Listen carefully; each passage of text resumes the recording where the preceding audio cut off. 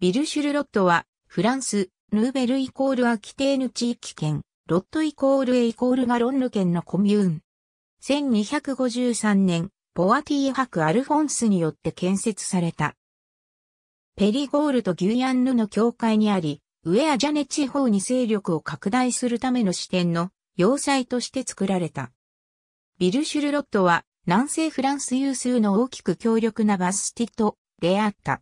ビルシュルロットはロット川に面したバスティードである。果樹園で覆われた丘に囲まれた肥沃な平野にある。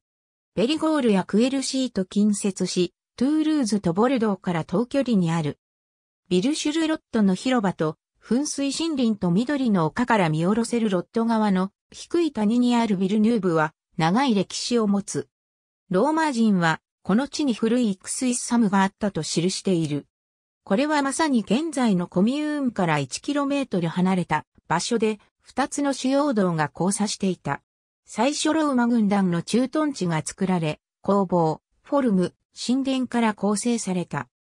11世紀初頭、ベネディクト会は小さな村落を設置して、その周囲に陶工や農夫の集団を集めた。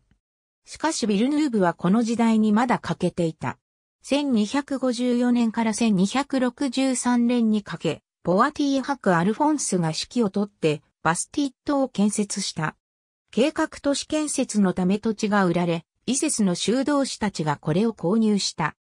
建設は明らかに南西フランスの要塞化都市と同じ計画で指導された。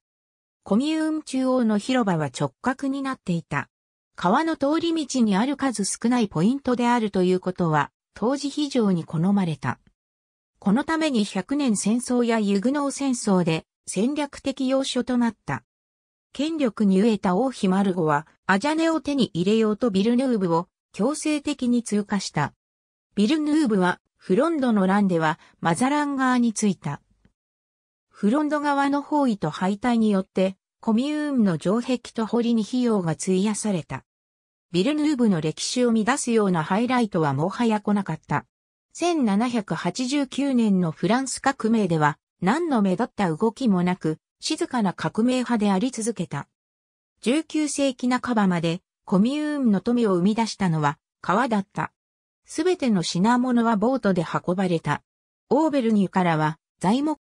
ボートはボルドーまでも航行し、そこからフランス領の島々にある定住地へ運ばれていった。ありがとうございます。